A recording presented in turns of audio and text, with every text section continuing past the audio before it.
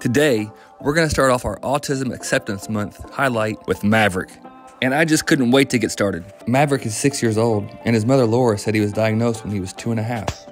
I hope Laura doesn't mind, but I just had to include his Cruz Ramirez toy in this painting. Something pretty amazing I learned about Maverick is he can hear a book one time and have it memorized. To me, that's just mind boggling. I can barely remember a song, word for word. The one song I probably know all the words to is Happy Birthday, and that's pushing it. He knows over a dozen books that he can, as his mom says, quote unquote, read without even looking at the pages. However, this doesn't come without his struggles, as sometimes he fails to understand what he's reading. His mother says they celebrate autism every day in their home because that is what makes Maverick who he is. So, Laura, here's Maverick. I hope you enjoy this as much as I enjoyed creating it.